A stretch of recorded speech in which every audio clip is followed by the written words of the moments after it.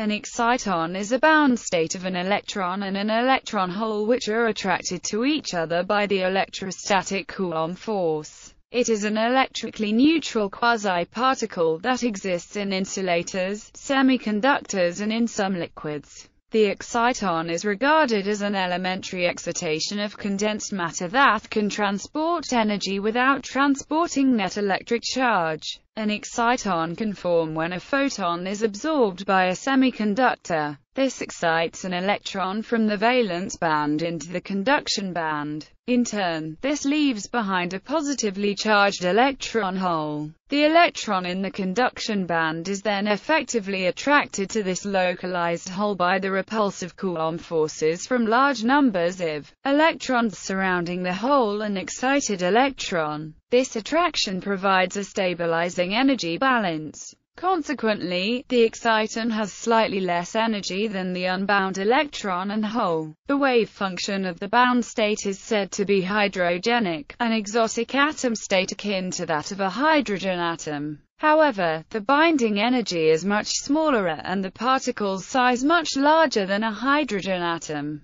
This is because of both the screening of the Coulomb force by other electrons in the semiconductor, and the small effective masses of the excited electron and hole. The recombination of the electron and hole, i.e., the decay of the exciton, is limited by resonance stabilization due to the overlap of the electron and hole wave functions resulting in an extended lifetime for the exciton. The electron and hole may have either parallel or antiparallel spins. The spins are coupled by the exchange interaction, giving rise to exciton fine structure. In periodic lattices, the properties of an exciton show momentum dependence. The concept of excitons was first proposed by Yakov Frenkel in 1931, when he described the excitation of atoms in a lattice of insulators. He proposed that this excited state would be able to travel in a particle-like fashion through the lattice without the net transfer of charge. Classification Excitons may be treated in two limiting cases, depending on the properties of the material in question. Frenkel excitons in materials with a small dielectric constant. The Coulomb interaction between an electron and a hole may be strong and the excitons thus tend to be small, of the same order as the size of the unit cell. Molecular excitons may even be entirely located on the same molecule, as in fullerenes. This Frenkel exciton, named after Yakov Frenkel, has a typical binding energy on the order of 0.1 to 1 electron volt. Frenkel excitons are typically found in alkali halide crystals and inorganic molecular crystals composed of aromatic molecules, such as anthracene and tetracene. Wannier Mott excitons in semiconductors, the dielectric constant is generally large. Consequently, electric field screening tends to reduce the Coulomb interaction between electrons and holes. The result is a Wannier exciton, which has a radius larger than the lattice spacing. Small effective mass of electrons that is typical of semiconductors also favors large exciton radii. As a result, the effect of the lattice potential can be incorporated into the effective masses of the electron and hole. Likewise, because of the lower masses and the screened Coulomb interaction, the binding energy is usually much less than that of a hydrogen atom, typically on the order of 0.01 electron volts. This type of exciton was named for Gregory Wannier and Neville Francis Mott. Wannier Mott excitons are typically found in semiconductor crystals with small energy gaps and high dielectric constants, but have also been identified in liquids, such as liquid xenon. They are also known as large excitons. In single-wall carbon nanotubes, excitons have both Wannier-Mott and Frenkel character. This is due to the nature of the Coulomb interaction between electrons and holes in one dimension. The dielectric function of the nanotube itself is large enough to allow for the spatial extent of the wave function to extend over a few to several nanometers along the tube axis while poor screening in the vacuum or dielectric environment outside of the nanotube allows for large binding energies. Often there is more than one band to choose from for the electron and the hole leading to different types of excitons in the same material. Even high-lying bands can be effective as femtosecond two-photon experiments have shown. At cryogenic temperatures, many higher excitonic levels can be observed approaching the edge of the band forming a series of spectral absorption lines that are in principle similar to hydrogen spectral series. Charge transfer excitons an intermediate case between Frenkel and Wannier excitons. Charge transfer excitons occur when the electron and the hole occupy adjacent molecules. They occur primarily in ionic crystals. Unlike Frenkel and Wannier excitons they display a static electric dipole moment surface excitons at surfaces it is possible for so-called image states to occur, where the hole is inside the solid and the electron is in the vacuum. These electron-hole pairs can only move along the surface. Atomic and molecular excitons alternatively, an exciton may be an excited state of an atom, ion, or molecule the excitation wandering from one cell of the lattice to another. When a molecule absorbs a quantum of energy that corresponds to a transition from one molecular orbital to another molecular orbital, the resulting electronic excited state is also properly described as an exciton.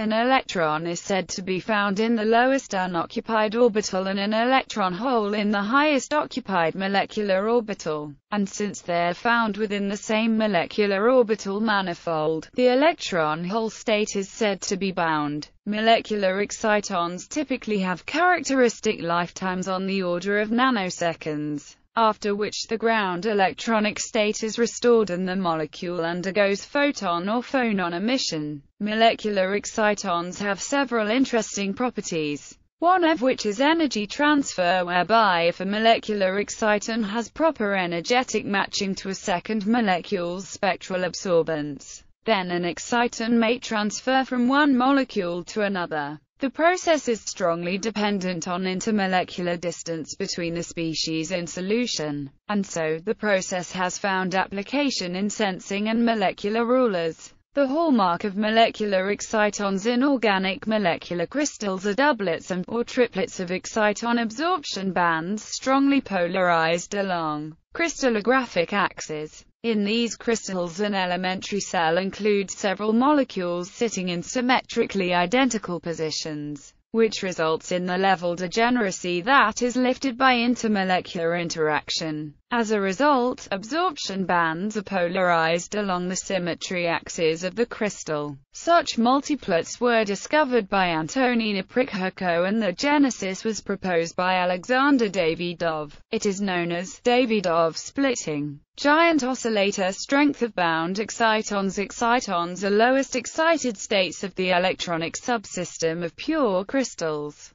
Impurities can bind excitons, and when the bound state is shallow, the oscillator strength for producing bound excitons is so high that impurity absorption can compete with intrinsic exciton absorption even at rather low impurity concentrations. This phenomenon is generic and applicable both to the large radius excitons and molecular excitons. Hence, excitons bound to impurities and defects possess giant oscillator strength. Self-trapping of excitons in crystals Excitons interact with phonons, the lattice vibrations. If this coupling is weak as in typical semiconductors such as GaAs or Si, excitons are scattered by phonons. However, when the coupling is strong, excitons can be self-trapped. Self-trapping results in dressing excitons with a dense cloud of virtual phonons which strongly suppresses the ability of excitons to move across the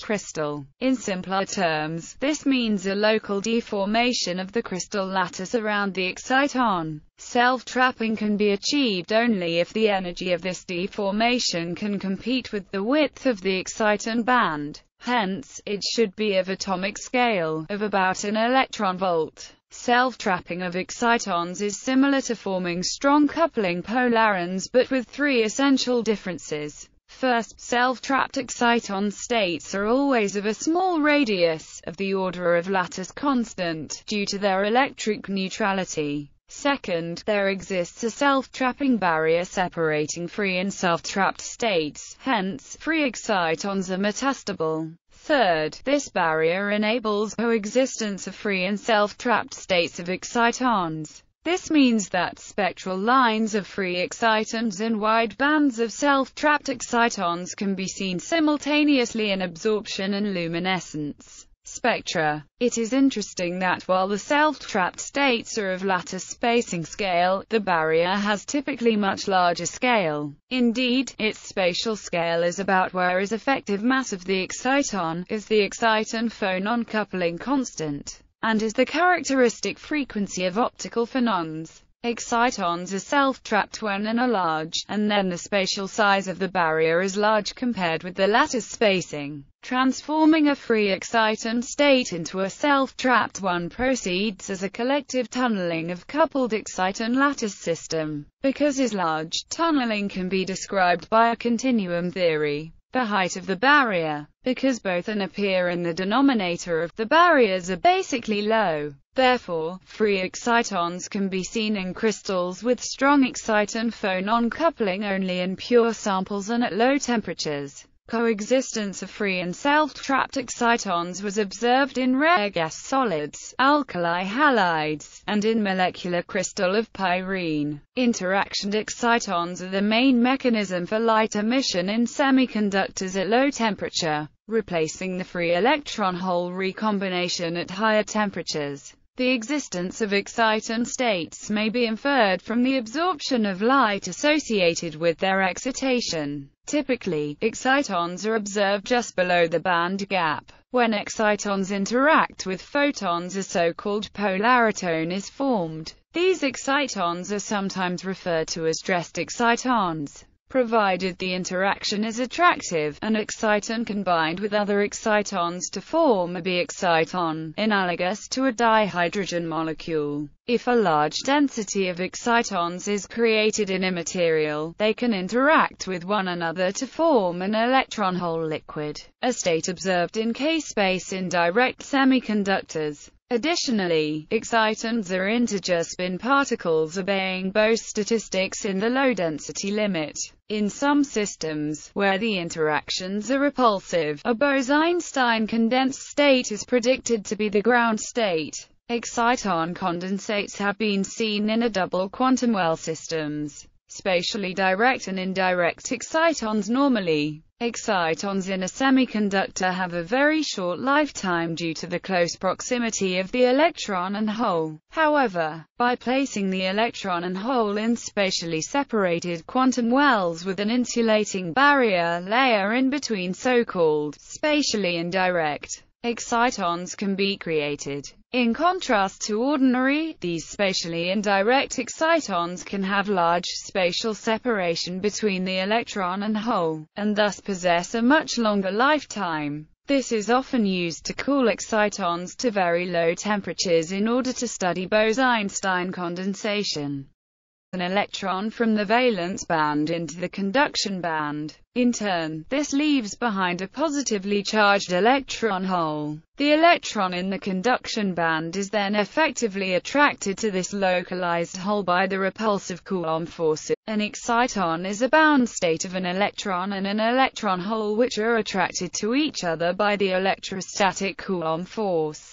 It is an electrically neutral quasi-particle that exists in insulators, semiconductors and in some liquid. Function of the bound state is said to be hydrogenic, an exotic atom state akin to that of a hydrogen atom. However, the binding energy is much smaller and the particle's size much larger than a hydrogen atom. This is because of both the screen widths the exciton is regarded as an elementary excitation of condensed matter that can transport energy without transporting net electric charge. An exciton can form when a photon is absorbed by a semiconductor. This excites us from large numbers of electrons surrounding the hole and excited electron. This attraction provides a stabilizing energy balance. Consequently, the exciton has slightly less energy than the unbound electron and hole. The wave